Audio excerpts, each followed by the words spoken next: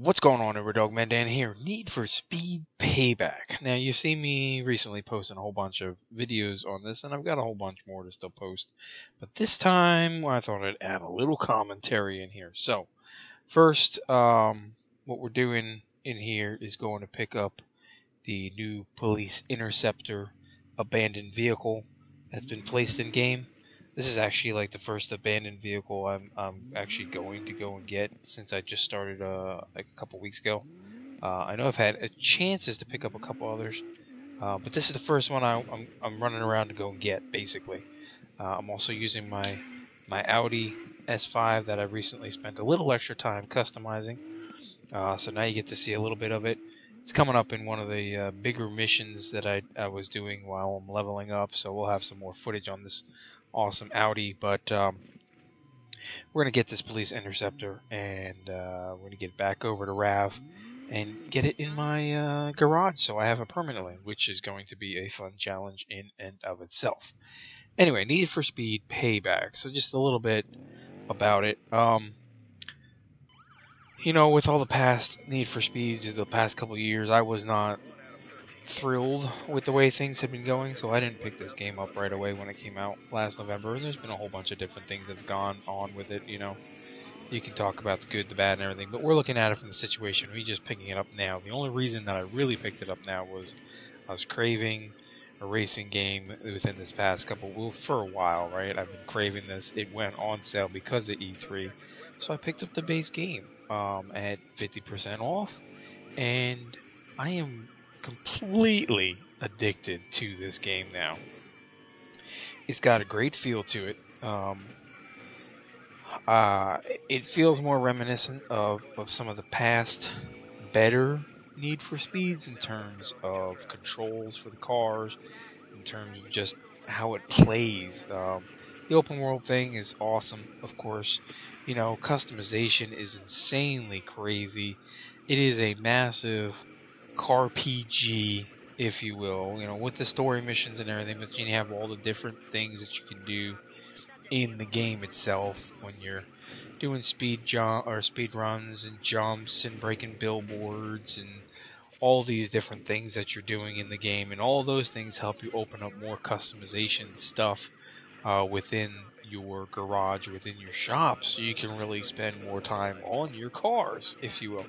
Now, this car here, like the abandoned car, um, you can't actually do anything special to it in terms of upgrading visuals or um, upgrading uh, parts to it, uh, which is fine um, because you're picking up an abandoned car. You know, it is what it is, and this one being a police interceptor yeah, I mean, who wouldn't want the the Ford Interceptor? It's one of those cars you've always wanted in all the different Need for Speeds, right? It's that that classic car that everybody wants. Sirens work on it. It's just insane. Um, but now I'm getting farther and farther into the game, and uh, it just it just becoming more and more fun. Like I said, uh, I've spent a little bit of time doing some customization, and I'm going to do a lot more customization on the different cars uh, as I get more things unlocked. Um, as you get more shipments from leveling things up. You get more free things in terms of like um, smokes and tints and underglows and parts and you name it. You can get all these different things. Yeah.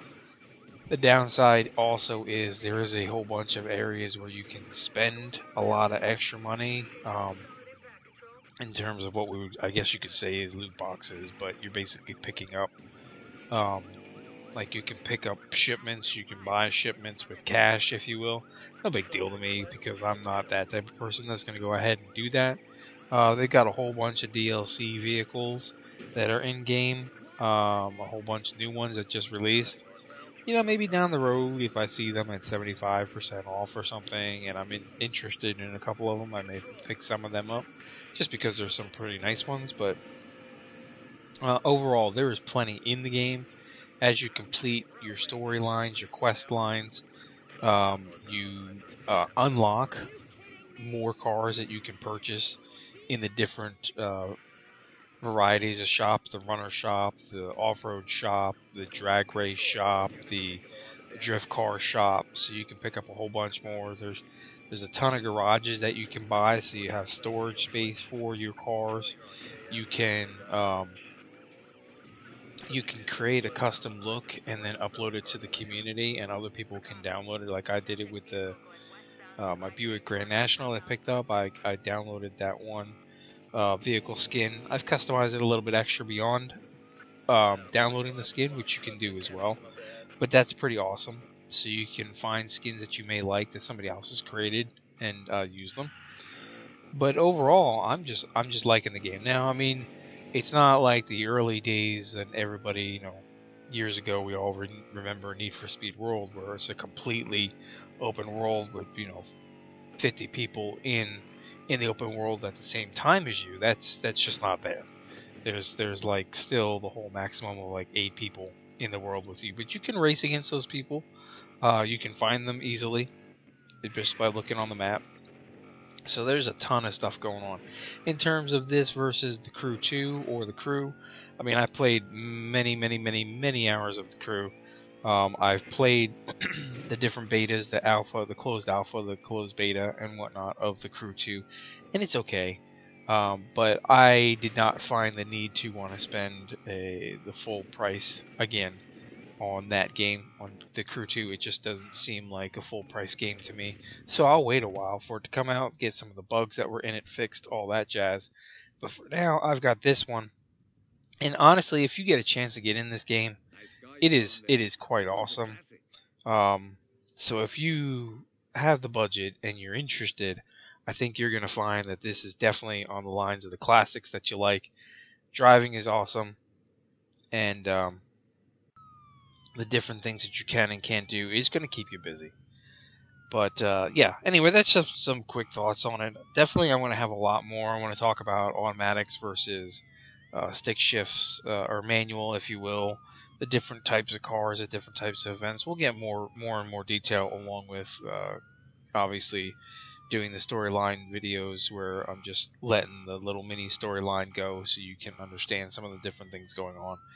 Um, it's a little different having the full storyline in there, but got kind of used to it. That's how car RPGs are working these days. I'll catch you guys soon. Thanks for tuning in, and uh, go get this car if you have the game while it's still here.